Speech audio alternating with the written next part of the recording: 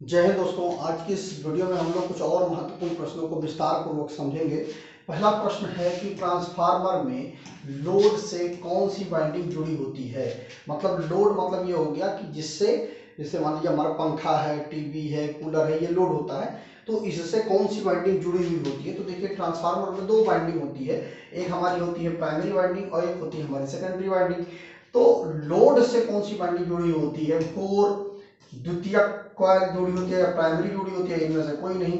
देखिए, सामान्य रूप से जो हमारा ट्रांसफार्मर होता है, वो दो प्रकार का होता है, जैसा आप जानते हैं कि स्टेप अप ट्रांसफार्मर होता है और एक होता है हमारा स्टेप डाउन ट्रांसफार्मर और एक होता है हमारा स्टेप डाउन ट्रांसफार्मर तो स्टेप अप ट्रांसफार्मर जो होता है ट्रांसमिशन लाइन के लिए उपयोग किया जाता है। उसको हाई वोल्टेज में हम परिवर्तित करते हैं तो हम स्टेप अप ट्रांसफार्मर का उपयोग करते हैं। लेकिन जहाँ पर हमें लोड की ज़रूरत होती है लोड को हमें चलाना होता है मतलब ये हुआ कि हमारा जो डिस्ट्रीब्यूशन जो पावर हाउस में यूज़ होता है, वह ट्रांसफार्मर तो ये हमारा स्टेप डाउन ट्रांसफार्मर होता है। तो इसमें क्या होता है कि प्राइमरी साइड में हमारी एचटी सप्लाई होती है और सेकेंडरी साइड में हमारी एलटी सप्लाई होती है। तो जहाँ पर एलटी सप्लाई होती है, वही हमारी लोड से जुड़ी हुई होती है। ठीक?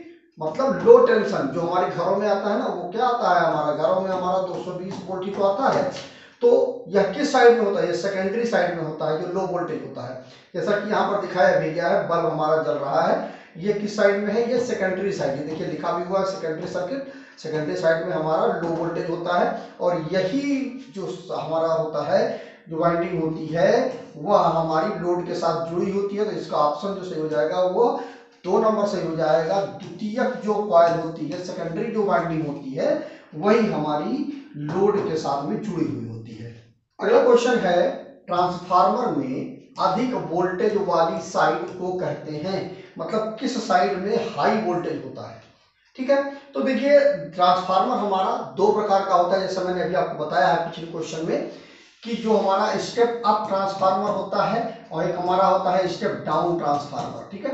तो अब इसमें बात हो रही है कि अधिक वोल्टेज की बात हो रही है। जो हमारा पावर हाउस में जो ट्रांसफार्मर लगा होता है, जिससे हम अपने घरों के लिए सप्लाई लेते हैं, अगर उसकी बात हो रही है तो उसमें जो बहुत है, अधिक वोल्टेज मतलब हाई वोल्टेज वाला साइड जो होता है, वो हमारा प्राइमरी साइड होता है।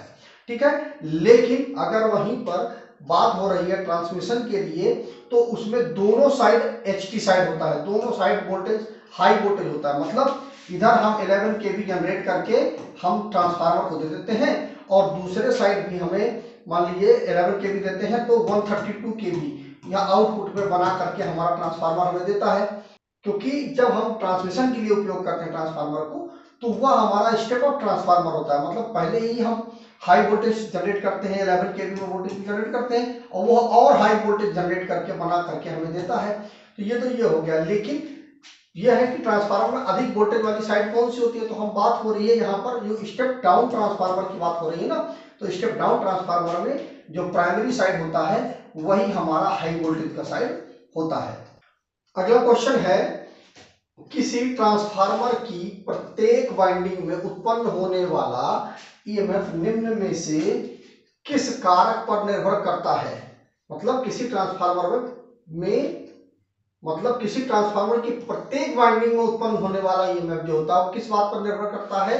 वाइंडिंग की लपेट की संख्या पर मतलब जो टर्न होते हैं, उस पर निर्भर करता है सप्लाई की फ्रीक्वेंसी पर निर्भर करता है ट्रांसफार्मर की कोर में उत्पन्न होने वाले फ्लक्स पर निर्भर करता है या उपरोक्त, सभी पर निर्भर करता है। तो इसका जो ऑप्शन सही होगा, वो होगा उपरोक्त सभी पर यह चीज़ निर्भर करती है। मतलब ये होगा कि जो ईएमएफ है, अगर जो टर्न होते हैं, वो कम ज़्यादा हो जाएँगे तो जब कम ज़्यादा होंगे मतलब लपेटों की जो संख्या होगी, वो कम ज़्यादा होगी तो उस पर भी हमारा ईएमएफ निर्भर करता है। ये जो लपेट की जो संख्या है ना, ये अगर कम ज़्यादा होगा तो उस पर भी ईएमएफ निर्भर करेगा। तो फ्रीक्वेंसी है, अगर वो कम ज़्यादा होगी तो उस पर भी निर्भर करेगा। और ट्रांसफार्मर कोर में उत्पन्न होने वाला फ्लक्स अगर वो कम ज़्यादा होगा तो उस पर भी ईएमएफ हमारा निर्भर करेगा। मतलब जितना इस साइड में हमारा वोल्टेज आएगा, उसी के अनुसार कोर में मैग्नेटिक फ़ील्ड जनरेट होगी और उसी के अनुसार सेकेंडरी में जो ईएमएफ है वो पहुंचेगा।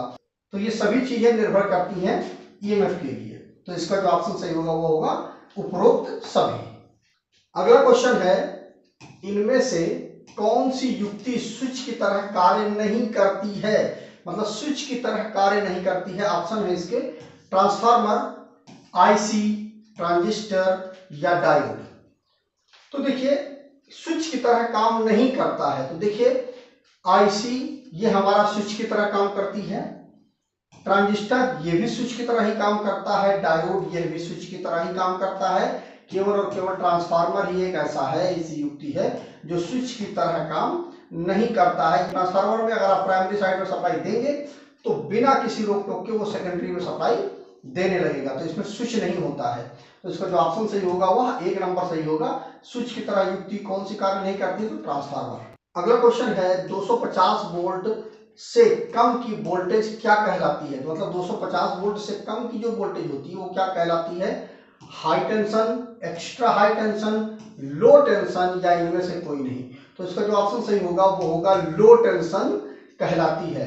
देखिए ज़ीरो से लेकर के एक हज़ार वोल्ट तक हमारा लो टेंशन होता है, ठीक है?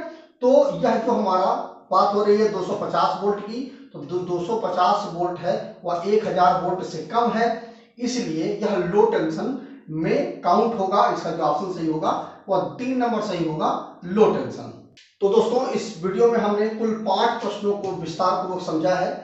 कमेंट करके ज़रूर बताइएगा कि ये वीडियो आपको अच्छा लगा। अगर वीडियो अच्छा लगा हो तो वीडियो को ज़्यादा से ज़्यादा लोगों तक शेयर करिए, जिससे उनको भी ये क्वेश्चन समझने का मौका मिले, ये क्वेश्चन विस्तार पूर्वक को समझ पाए। मेरा एक ब्लॉग है, जिसका नाम है डब्ल्यू वहाँ पर जाकर के आप मेडिकल से संबंधित बहुत अच्छे अच्छे आर्टिकल पढ़ सकते हैं। वीडियो को ज़्यादा से ज़्यादा लोगों तक शेयर करिए, चैनल को सब्सक्राइब करिए। आज की वीडियो बस इतना ही। जय हिंद दोस्तों।